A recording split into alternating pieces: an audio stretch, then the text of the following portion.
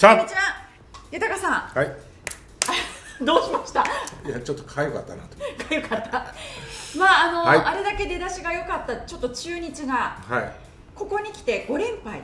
なかなか勝てない。うん、まあ、ピッチャーが崩れてでも打線は打つんだけれどもピッチャーが崩れて打てないと思うと今度ピッチャーが良くなったと思うと今度打線がつながらないというちょっと負のスパイラルに入ってしまって。いやでもまだ貯金一つあるんだよ。あまだあります。はい。いいじゃん いやだからいやちょっと待って。バタバタすんなよ。もうファンは今ざわざわいやそりゃそうだだろうな、まあだけど各チームそういう時期があるよ、はい。でいつあるかだよ。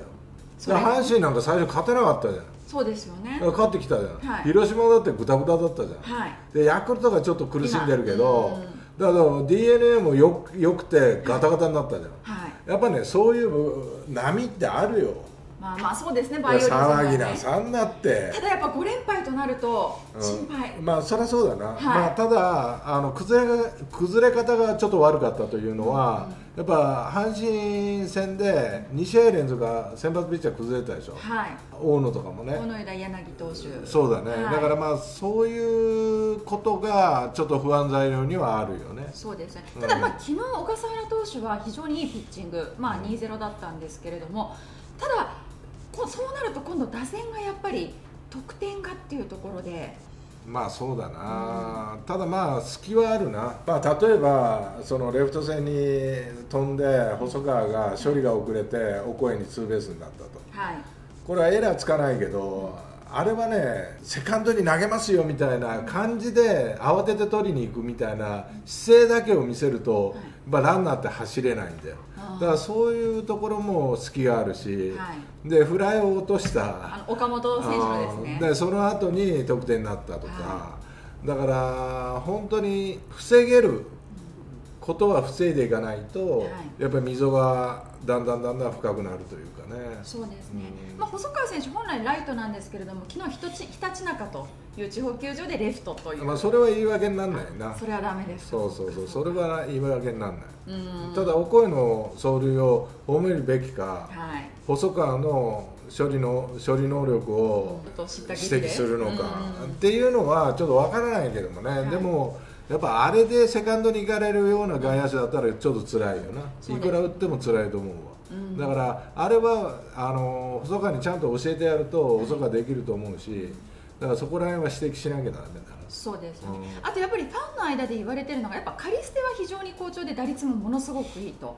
でその中でやっぱり上がってきた怪我明けの岡林選手。はい。などがまあ打率が低かったり中田選手と田中選手を一旦休養で下げてから何か歯車がちょっと合わなくなってきちゃったよねとか。まあね、そういうふうにいろいろ言うよ、はい。ただ岡林を6番に使ってるんだったら、俺は使わない方がいいと思う、まあ、例えばいやっぱり1、2番の選手だよ、うん。はい。それをやっぱこう6番に使って状態を見てるようであれば、状態が上がるまで待った方がいいかなっていうような感じがするな。その間外野は一枠空くわけなのでそこに誰かは入れられるだって今までそれでやってたじゃん、はい。だから大島だっているしさ。だからそれはねバタバタする俺は必要はないと思うし、あとはランナーサードでカリステで打席、はい。中田で続く、で内野ゴロでホームに突っ込まなかった、はい。うんやっぱり負けが混んでる時っていうのはどうしても消極的になるのは分かるけど、はい。中田って長打が打てるじゃん。俺の考えよ、はい。これは俺の考えだからもうねあれだけどもカリステの時にもうゴロゴーでよかったと思うんだよ、うんうん。で、まあ、アウトだったら一塁に残る、はい。で中田の長打にかける。うん。あれ止まって「はい中田君お願いします」全部中田にかかってきてんだよね。そうですね負担は、うん、だからこれはねやっぱ中田も辛くなると思うわ。そうなってくると。う。んやっぱり動かした方がいいと思う。そう思わないか？まあ確かにそうですね。全負担も中田選手にというとプレッシャーでうん。もうすべて自分が背負う。じゃあ中田選手打てなかったらこのチームダメなのかって。まあそのぐらいかけてるのかもわからないけどもね、まあだけど俺は中田の立場から考えると動かしてほしかったって思ってると思うよいやそして一塁に残ったらよしっていう長打でっていうことで俺はいいのかなっていうふうには思うけどね。あの時のあの作戦っていうのはそれもベンチの中でのっていうことになってくるわけです。やっぱ中田にかけてるっていうのは分かる、うん。うん。ただ中田にこう負担がかかってるなっていうのも感じ取れたし、はい。ただまあその時の、まあ、立浪監督だったら立浪監督の勘があるからね、はい。だからまあいや仮捨て倒れても中田打つだろうみたいな、まあそういう勘が働いたのかもわからないしただ俺の考えよ、はい。俺の考えは積極的に走ってほしかったなっていうね、うん。三好だっただけに、そうですね、うん。うん。これが足の遅い選手だったらね、はい走らせてもしょうがない。まあアウトになるの分かってるから、はい。まあ、だけどあの時はやっぱこう押せ押せで行ってほしかったなっていう気はある、応援してるだけにねちょっとね。そうですね今年も特に。やっぱり立浪片岡コンビみたいなね、はい。まあここはやっぱ絶対応援しなきゃいけないしさ、はい。応援しないとなんかやられそうですよこっちが いやだけど、うん、やっぱ負けが込んでくるとな。やっぱどうしても思考的にはこう守りに入るというかさ、はい。うん、だからまあその気持ちもわかるけどね。あとはファンの間で出てるそのビシエドと福永選手を上げてくるべきだと。で特にビシエド選手は外国人枠ではないのでベンチに置いといて、まあ、代打でもいいしな何かしら例えば雰囲気を変えたいとか例えばこういう案っていうのは豊さんはどうですか？まああのやっぱ流れを変えるためにもビシエドが実績がないわけじゃないからな、まあまあ昨まあ、昨年、うん下では打ってるし、はい。まあ、昨年ダメだったけども、うん。まあ、今年っていうのもあるしね新たな年っていうのも。だからまあそういう案も一つにあると思うんだよね、うん。だから雰囲気を変えるために、はい。まあ、そういうことをやってもいいだろうし、うんうん、だからビシエドもファーストの守備が下手なわけでもないし、はい。だからビシエドが外野できれば いやまあ3打席立ってみて、うん。その様子で変えるとか、うん。勝ち負けでこう守備固め入れるとか、まあ、そういうこともできるだろうしね、だから、まあ、そういうことも一つの案だよね。そうですよね、うん。あとは福永選手を上げてくるっていうのもこれはどうですか？案としてはまあまあそれも、まあ、一つの案として、まあ、いいとは思うけどもね、うん。ただ現状頑張ってる人間が、まあ、山本であったり、はい田中であったり村松であったり、まあ、いるからね、はい。だからまあそこら辺はまあ分からないけども、まあ、ビシエドが6番にレフト6番、うん。まあ、今岡林が入ってるけどもだからここにはビシエドが入ってる方が俺は相手チームとしたら嫌だと思う。よまあ大きい一発があるかもしれないっていう、うん。で1番12番に岡林が入ってるんだったら嫌だと思うよ。うん。でも6番に入ってるんだったらまあそう大量点はないかなっていう。まあ、さっきの話じゃないですけど6番に本当岡林選手を入れるんだったらそれはもう一回調整で外してファームでっていうのでもまあ、ファームでもいいよね。ね。だから慌てることない。だって岡林がいなくてあれだけ調子が良かったわけだから。そうなんですよ、ね、だから、まあ、そんなにあのただ岡林がね調子が良くて1、2番に座ってるって言ったら相手はすごく嫌だよ、嫌です、やっぱ足もあるし外野の守備だって肩強いしさ、はい。だからそれは嫌だと思うんだけどでも調整してるんであれば1、2番を打てるようになるまではい。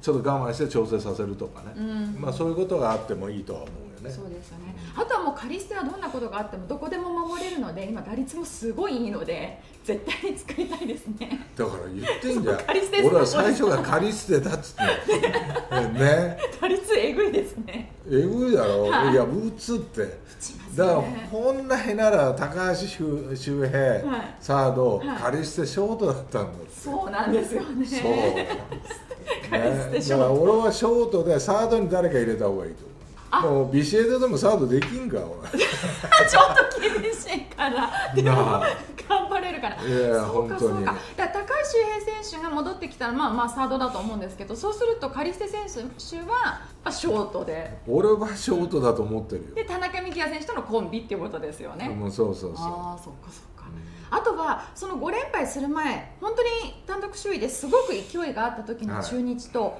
今の中日って何が違くて、あやっぱりね負けが込んでくると雰囲気は変わってくるよね。うん。うん、それとやっぱり自分の置かれてる立場っていうのに対して責任感がすごく重圧というものに変わってきてる。はい。で前まではその重圧もみんなが跳ねのけてくれたり、あこの人が跳ねのけてくれたりだとか、なんかねあの失敗したら絶対助けてくれる人がいたんだよ、うわーここで外野フライ打てんかったかって言った時に次のバッターがタイムリーで返すとかさ、だからこうみんなが助け合ってたんだけど今もう助け合いができないから、うんやっぱりチームの中は雰囲気はそんなに良くはないよね。そうですたただあの長い目で見た時にこういう時期は必ず来るから、はい。だからここをどう乗り切るか、うん。これが大事でね、はい。だけどみんな5連敗したけどまだ一つあるんだぞって。それまでの頑張りは君たちが頑張ってるからこうなってるんだと、うんね、こっからやり直そうぜみたいな、はい。まあ、そういう雰囲気がだ出していければ、い俺も大丈夫だと思うけどね。そう。なんだ慌てることはないと思う、うん。今年の中日は強いって、そうですよだね。からまあそれを信じるうん。疑わない、信じて疑わない、まあ、これが一番大事だろうな。そうですね、うん。あとはなかなかこのちょ負けが込んでくるとどうしても打線というか打順をこう変えたくなるものですけどそこは何か変えずに一定でいったいやでも変えてないじゃん。まあまあ我慢してるじゃん。我慢してるだろ、はい。い、やこれがやっぱりせあの成長だって一番の、うん。やっぱりそれそれに選手を信じられるようになってるんだってでまた信じようとしてるんだって、うん。だから選手もそれに応えなきゃいけないし、あの首脳陣も我慢しなきゃいけないという、でも首脳陣の我慢は今年は俺は効いてると思うよ。あそう3位に落ちたけどまあだけどこの状態でまだ貯金があるっていうこと自体がどれだけ前半戦前半戦というかまだ前半だけどね、はい。頑張ってたかっていうことだよですようん、ねそりゃねこのままいかないよ。まあそれはそうですね。あね順風満こ帆にはいかないのままい。ったら貯金いくつ作るんだよ。お前いい作ったんだよ。まあ、だけどやっぱこう、あのー山あり谷ありでね、えー谷を少少なくして山を大きくしていく。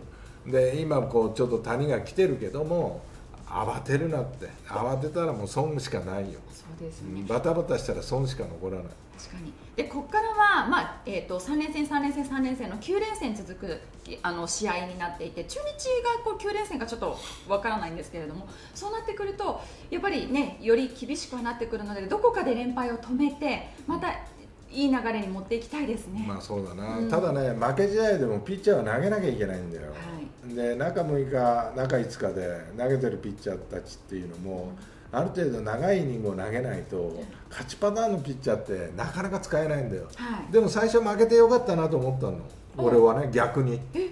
はい。それはなぜかというともうね勝ちゲームのとピッチャーたちが登板方に来てるから、はい。だからこれはちょっと投げすぎやろうと思った時にちょっと連敗したから、ああよかったなって。でもこれ先発ピッチャーが打たれすぎてるから、これはなんかピッチャー足りなくなるんじゃないかなと思って、はい。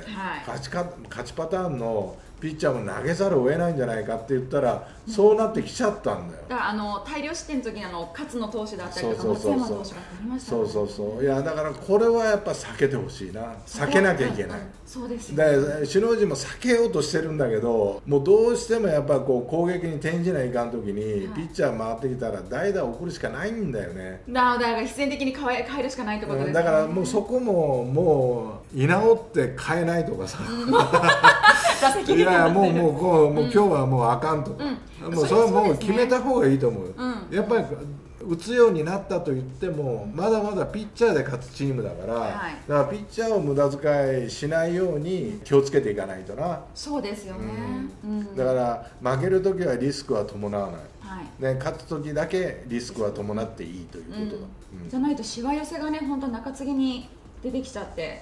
まあ、そうだな、うでもまあ大丈夫。大丈夫？心配しなくても大丈夫。もう中日ファンはその言葉を信じてこいや大丈夫だと思うよ。他のチームもこうやって見渡して見てるけどさ、はい。決していい状態のチームってないから、ます万全なチーム今年そうですね。あんまりないから、まあ、阪神が、まあ、そこそこになってきたなって思うけど、まだまだだからうんね、うん。うん広島も良くなってきたなと思うけどあこれはちょっといずれ落ちるんじゃないかなっていうやっぱり波あるだろうなって。うん。